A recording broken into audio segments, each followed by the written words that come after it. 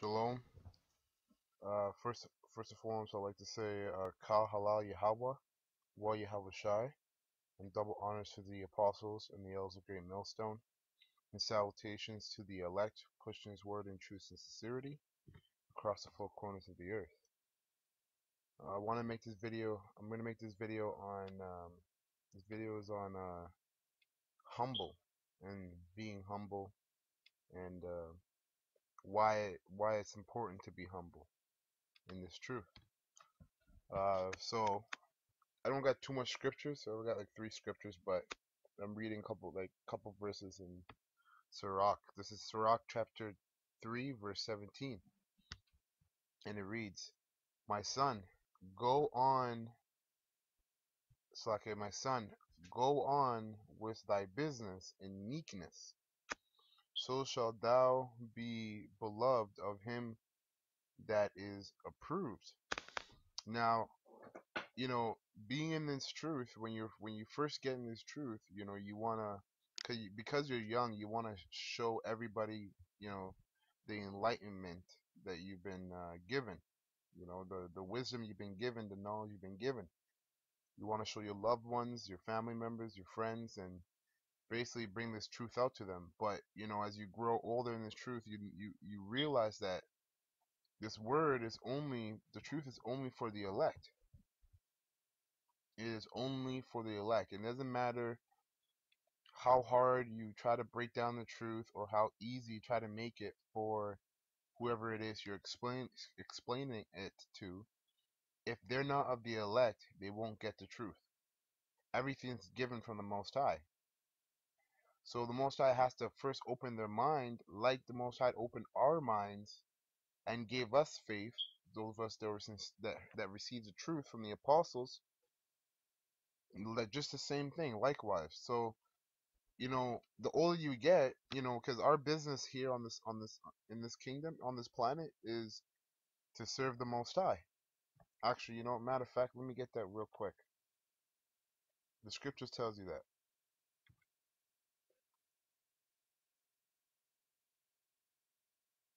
bear with me one moment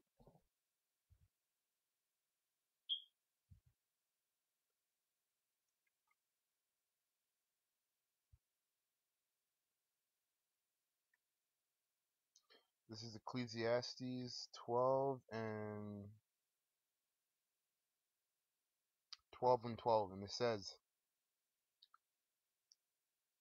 uh, actually 12 and 13. I'm just to get right to the point. It says, Let us hear the conclusion of the whole matter.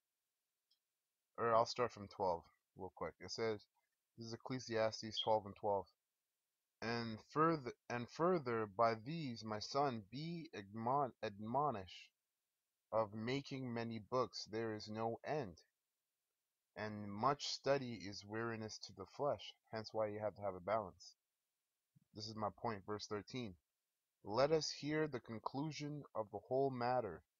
Fear Yahweh Bashim Shai and keep his commandments, for this is the duty, the whole duty of man. So that's that's our business, man. That's that's what that's what we're here on this planet to do.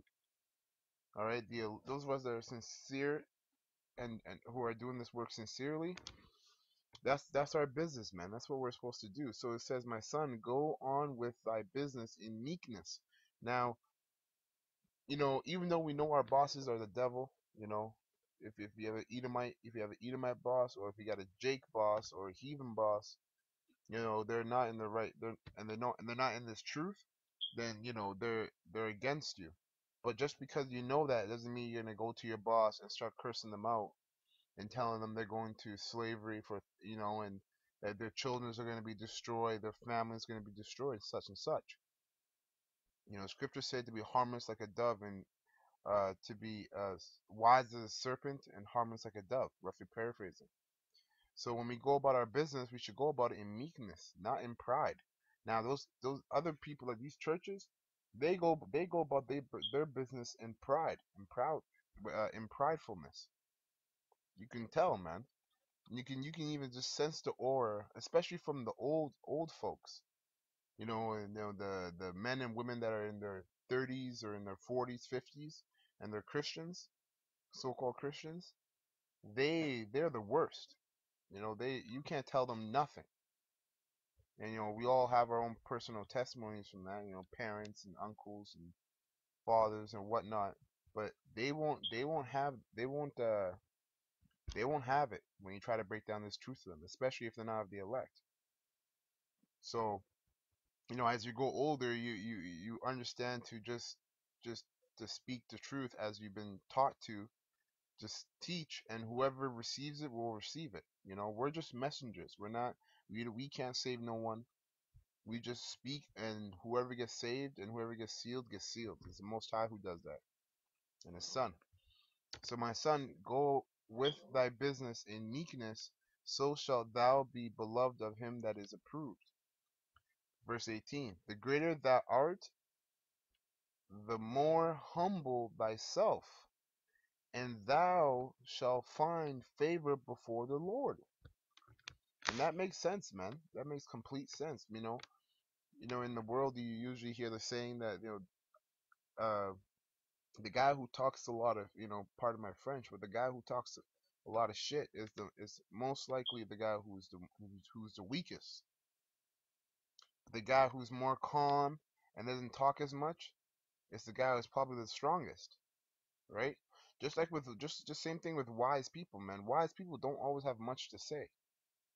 You know, it's foolish people who talk out of who talk so much, and it, it ends up it ends up being them talking out of their asses. So, um, I'm gonna read that again. It says, "The greater thou art, the more humble thyself, and thou shalt find favor before the Lord."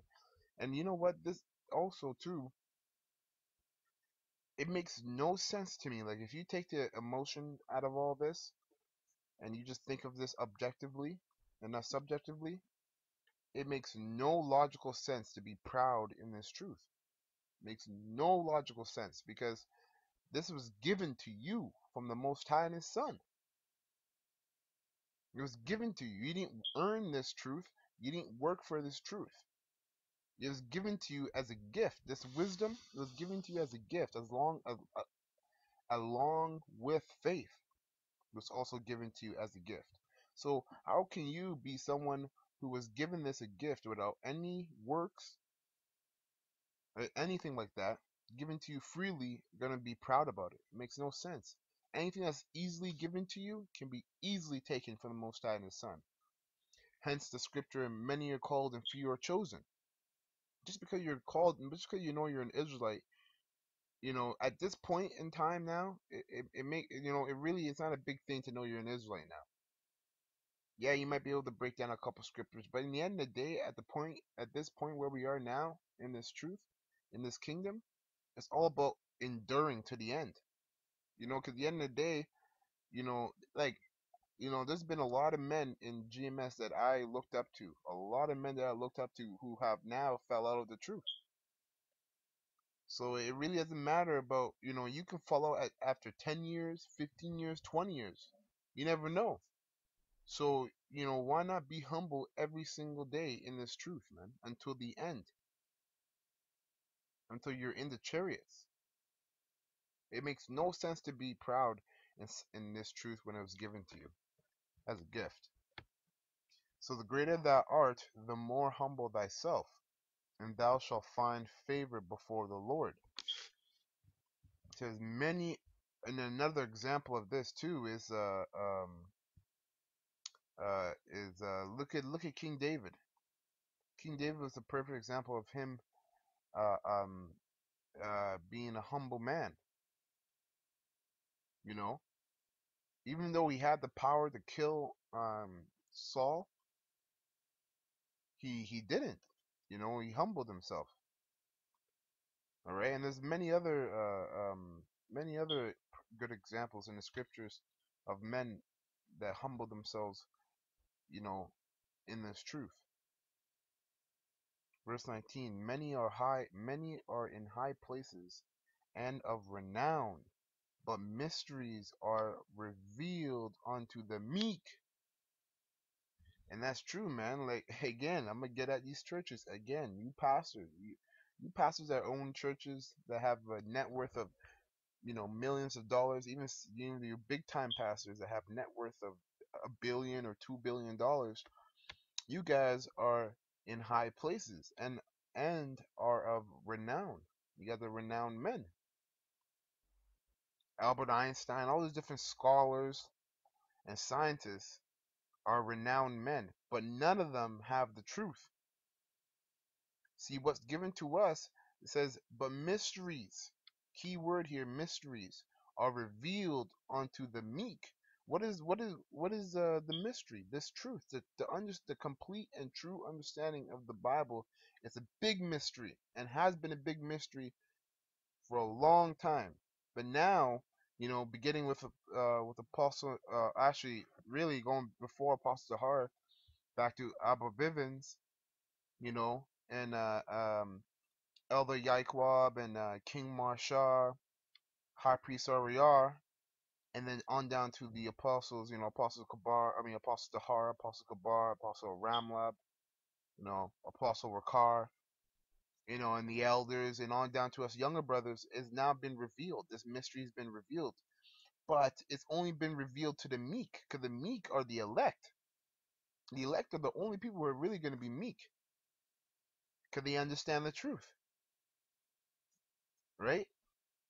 And even to this day, even though that this truth is pushed across the world, and it's you know out on the YouTube and everybody knows about the Hebrew Israelites or what they like to call us so-called black Hebrew Israelites.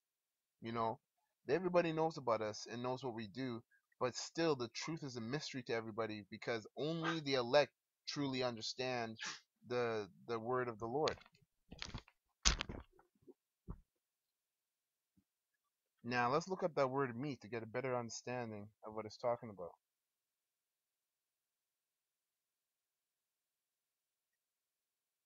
So it says gentle, quiet, unaggressive, benevolent, kind, courteous, humble, unassuming, which is beautiful because when you're meek, you're most of the time meek people and humble people are actually very wise. They don't assume things. A foolish person that talks out of his ass will assume everything and not actually get um the the proper um to proper understanding of whatever whatever it is that he's assuming of or she's assuming of. Okay, um but yeah, that's pretty much it, you know. It just goes on to repeat itself basically. Submissive, um, soft, gentle. So, you know, a, a key word in here that I liked to take out of this was unassuming. Because even in the world, they say um, when you assume, you make an ass out of you and me, right? It's, it's it's about it's about reading what's in the scripture and just teaching what's in the scripture, not assuming what this proverb might mean. Or like these pastors, all they do, man. All they do is just assume some scriptures that they don't understand, and they come across and they read it. They just assume what the what the proper breakdown might be. They don't actually go and do the research and study.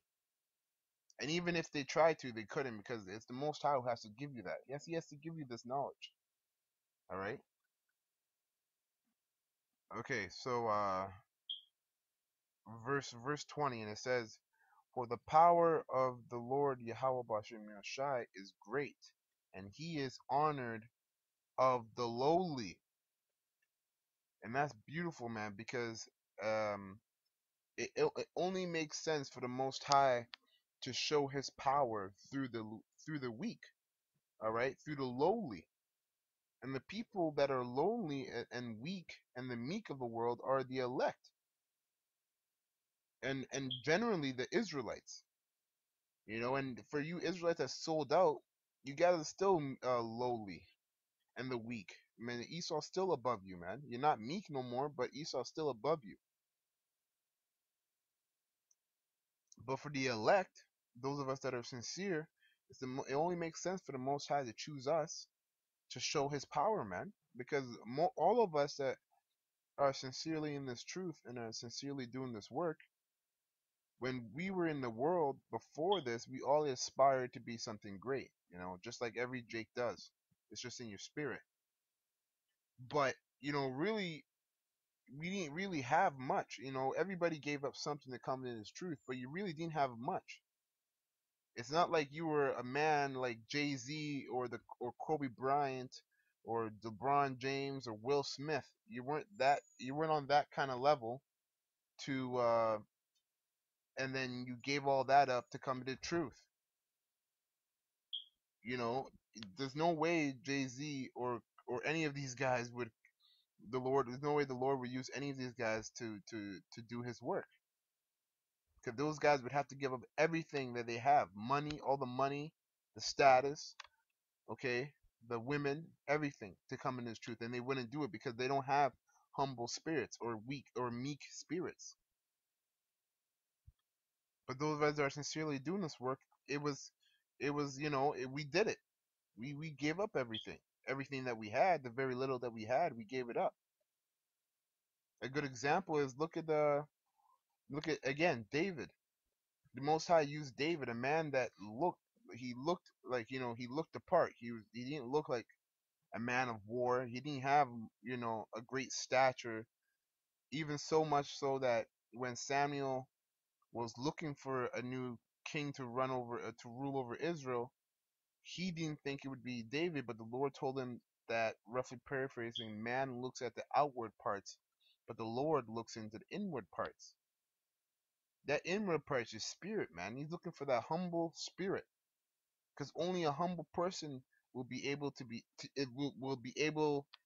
Only a humble person can be taught. Someone who's proud can't be taught anything because they're proud. Nothing can get in through their heads. You know, and the Lord used David to take down Goliath, and that was that was a surprising thing. But the Lord showed His power through David. It's the same thing the Lord's doing through us right now, beginning with the apostles and the elders on down.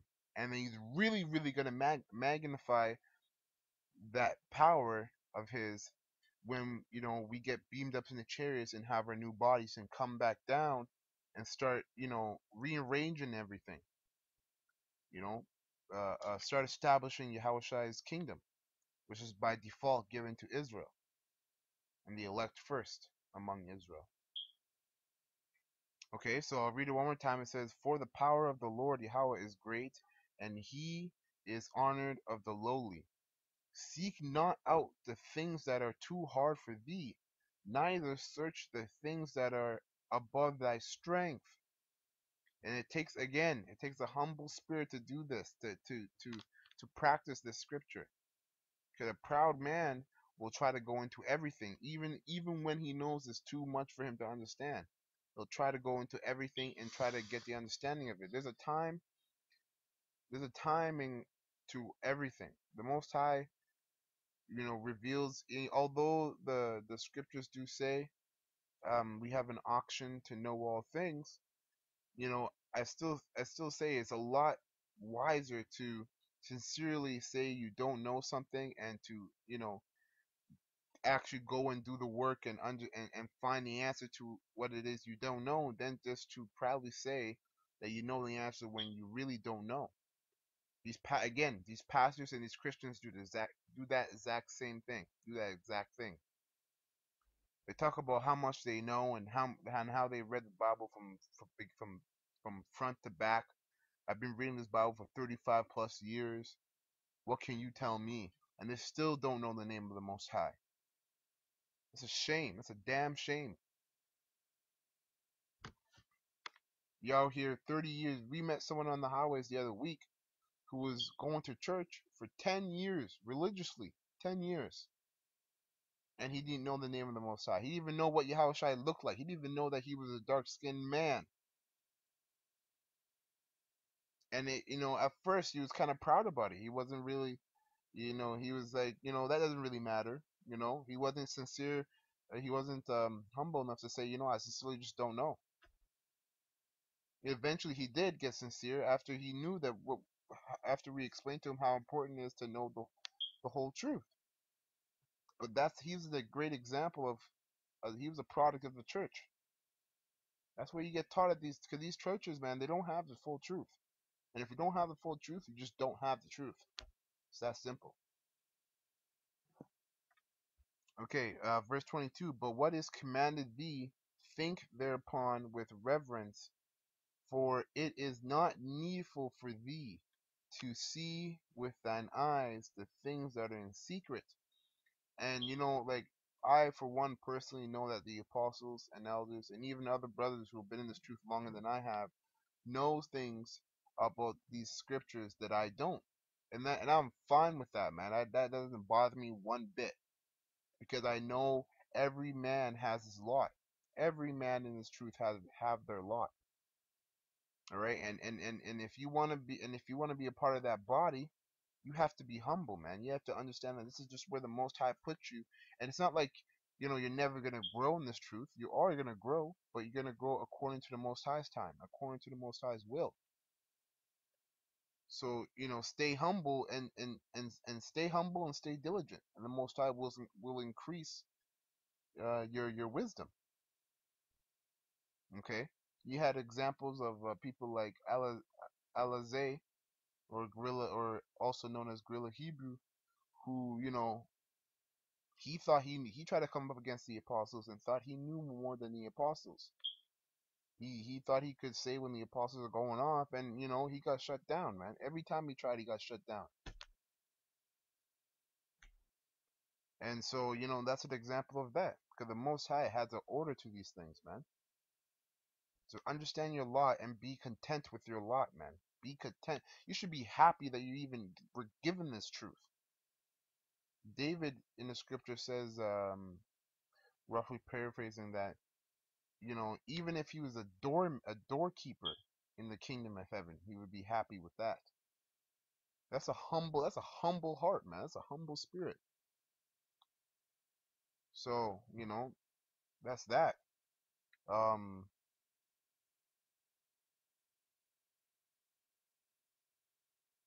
Oh yeah, you know, I did have a quick precept for when I did read um many are in high places and of renown, but mysteries are are give are revealed to the meek. The meek are the elect, and I just wonder every you know it's a well known scripture, but I'll I'll read it anyways just to um further explain you know what I was saying. Um, Amos three and nine publish or Amos three 3 and 7, So, okay? It says, Surely the Lord Yahweh power will do nothing, but he revealeth his secrets unto his servants the prophets, the prophets, which his prophets are the elect. And those, like I said, those are the only ones who are going to be meek. Now it says, uh, verse 23, it says, Be not curious in unnecessary matters, for more things are showed unto thee than men understand. And um, you know, personally, you know, like me, before I was in this truth, I wanted to play. Uh, I wanted to, you know, I had aspirations to pursue basketball and and and play professional. But uh, you know, coming to this truth, I had to cut all that off. Now, you know, um, I still play a little basketball here and there just to keep me occupied once in a while, but it's I, I do I do not take it as serious I used as as serious as I used to because my main focus is this truth. My new love, you know, I used to say basketball was my one and only love, but my new love is this truth and doing this work. All right, and Lord willing, you know, I'm I'm, I'm of the elect. Sincerely, Lord willing, I'm of the elect. But this is my new love. So yeah, I might play basketball to to keep me occupied. But there's been times, and like I, you know, where where, the, where I, I got caught up into basketball and watching too much of it, and I got excited about it again while I was in this truth. The Most High, and I was playing, and I and I hurt my and I rolled my ankle really really bad. And the Most High jacked me up, you know, and that kind of re that kind of set me back to to focusing to focus on this truth and to understand because yeah, you know, like when you watch these other whatever it is you you you aspire to be, you look at all these other guys, these these uh your your so-called your role models that were in the world that you looked up to to do whatever it is that you wanted to do. You have to understand they don't have what you have, which is the truth. That's why it says, "Be not curious in unnecessary matters." Those things are not unnecessary. They're not going to save you. They have no necessity to them, especially for you. For more things are showed unto thee than men understand. So you're giving things you're you're giving this truth, and this truth is more than most men on this whole planet can understand. That's a beautiful thing, man. So, you know, it's good to remind yourself of those kind of things. Just keep yourself focused and humble, man, and appreciative because even a humble person is very appreciative. And you, and you can show your appreciation through your works. You know, I I recently just heard that uh, two two camp leaders from Miami, um, the Miami camp, they fell out the truth because you know they had a problem with Apostle Tahara's order on three videos a week, ten minutes or longer. And that's sad, man. That's those are those are camp leaders. You know, like if it was a a younger brother who just came to faith, okay, you know, you can kind of see that. But camp leaders, they should already be in that mode. They should have been doing three to five already when they became leaders. So showing you that they weren't humble because they got they had an order given to them by an elder by the apostles, and they had a problem with it. So they their proud their, their pride uh, creeped in, and on top of that, they were not appreciative of this truth. Man, this thing is all about pushing the word. Why? How could you um disagree when the mo- when when when when the apostles tell you to push the word even more? How can you disagree to that when that's what this truth is about? Is pushing. This is what that's what we're about. That's our job description is to push this word. So really, he was just telling you to do your job and just do it even more. But like I said, man, you know, many are called and few are chosen. Um, verse 24 for many are deceived by their own vain by their own opinion vain opinion and evil suspicion hath overthrown their judgment. Now this is beautiful scripture because again you pastors and you churches are are are famous for this man. You guys will put your own op- vain opinion okay vain opinion on the truth which makes no sense to put your opinion on the truth, especially you know what? Because you know I'm gonna read it. You know I'm gonna read my precept. This is why it makes no sense to put your opinion on the truth because your opinion comes from your mind, right, and how you feel about something, right? So it says, uh, Jeremiah 17 and 9. The heart is deceitful above all things, which that word heart means uh means uh mind. You know, matter of fact, I'll look it up just to prove what I'm saying. It goes back to the word lab, which means mind.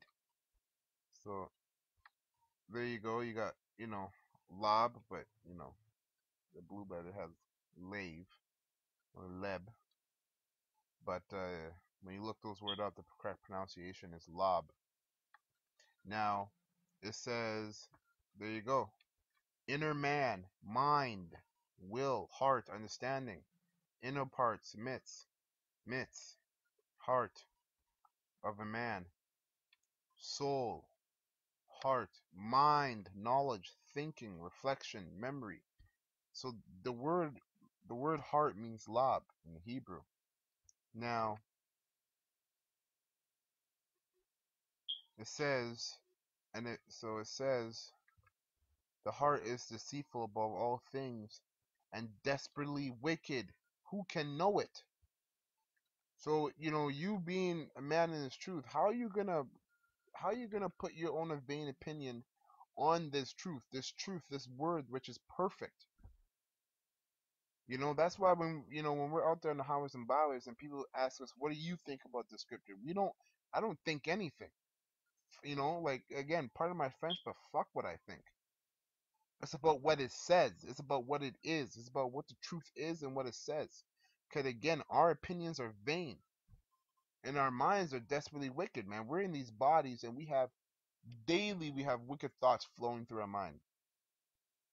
Creeping in and out of our mind. So why would you rely on your mind something that's not even something that's corrupted your mind because it's in because we're in these flesh we're in this flesh our minds and our bodies are corrupted. So why would you rely on that instead of relying on this word which is perfect and true and pure?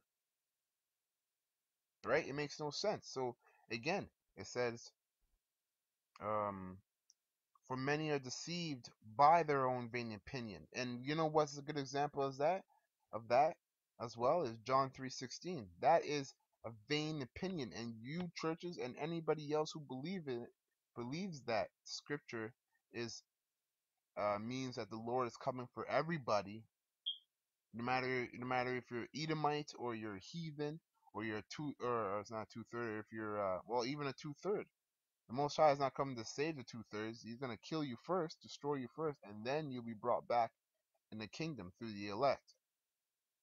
But when you read John 3:16 without doing your homework, you put you you know you you you you put your own vain opinion on it, and you're like, yeah, it's talking about the world. But then when you read Acts 5 and 29 to 30, it tells it tells you that Yahushua was slew, uh, was slew and hung on a tree, and uh, for the repentance of sins and the Prince and Savior for Israel. So those, if you don't have understanding, those two scriptures would, would be contradicting themselves. Okay? But the proper thing to say to yourself when you see something like that is to say, well, I just don't have the full understanding of the scriptures because the scriptures don't contradict themselves. Is that you are wrong or the scriptures are wrong? And the scriptures are never wrong because it's the word of the Most High, which is perfect. It's the truth. It's the spirit of Yahweh Shai resides in these scriptures. So, for many are deceived by their own vain opinion, and an evil suspicion has overthrown their judgment. These guys have no judgment. They're just mockingbirds in the churches, man. That's why when you ask, when you see a Christian and you ask them, you come upon them, come up on them, and you ask them certain questions, varying questions, various questions about the scripture, they can't. They just regurgitate what their pastor told them, which just makes them a parrot or a mockingbird. You don't actually understand why the scripture means this or why it says this. Now, here at Great Millstone, our apostles and elders make sure they teach us why we why the the the, the uh, why uh, the scripture says this, why it means this. We understand. Make sure we understand, not just hear it and then repeat it out on the highways and byways, like these like these churches, like these churches, like these pastors teach their um their con- congregation to do. You know, we do our homework, we we study, and that's diligent, man. That's being humble. You know, because you don't these churches, man. You get these guys go into these churches, and they they they go to about two sermons, and all of a sudden they think they know everything. And those two sermons didn't give them anything; just gave them a pile of shit when it comes to knowledge, and they think they know everything. Okay, so um, you know, with that, I'm gonna close. You know, I hit my point. I'm pretty sure I made my point about being humble and why it is and why it is uh, important to be humble. So I want to say Kal Hala Yahweh, Wa Yahweh Shai, double honors to the apostles and the elders of Great Millstone, and salutation, peace and mercy to the elect, pushing this word into in truth and sincerity across the four corners of the earth, and also death and destruction to this wicked kingdom. Yeah. Shalom.